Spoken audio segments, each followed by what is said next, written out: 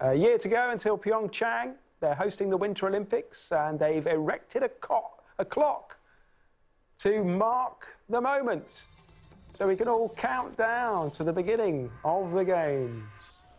There it is a clock, a digital clock.